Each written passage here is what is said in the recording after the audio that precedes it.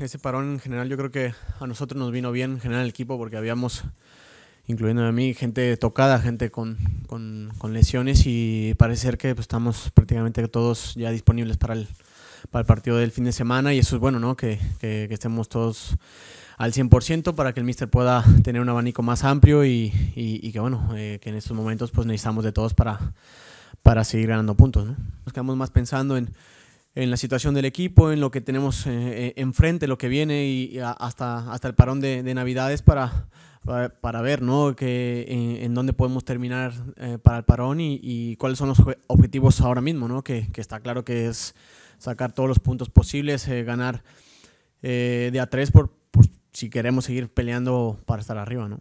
Para ser un futbolista, no, no solo jugar en Mestalla, se necesitan lo que, lo que vamos a decir huevos, lo que están todos están interpretando por huevos, pues se necesita carácter, se necesita personalidad para, para, para, para jugar al fútbol en general, no, no te digo en, solo en Mestalla. Entonces, eh, yo creo que la plantilla eh, tiene huevos, digo, no, no sé cómo decirlo, no me gusta mucho, pero, pero, pero bueno, más allá de, de, de lo que dijo el míster o que si Víctor Ruiz eh, en plan contestándole, yo creo que me uno más a, a, la versión que dijo el presidente el otro día, ¿no? De que estar todos unidos, no es momento para contrapuntear ni, ni, ni de un lado para otro, hay que, hay que mantener la calma en ese sentido y, y obviamente eh, sí con, con Víctor Ruiz de que tenemos que demostrar obviamente la plantilla que, que, que somos para jugar en el Valencia más allá de jugar en Mestalla, somos un, una institución importante y que tenemos que, que regresarlos a lo, al, al, lugar donde se merecen. ¿no? Lo que yo puedo decir de mi parte que, que trato de siempre, ¿no? ¿no? Ahora siempre dar lo mejor de mí